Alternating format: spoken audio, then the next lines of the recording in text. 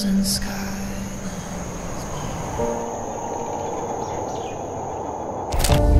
I feel the pages turning. I see the candle burn.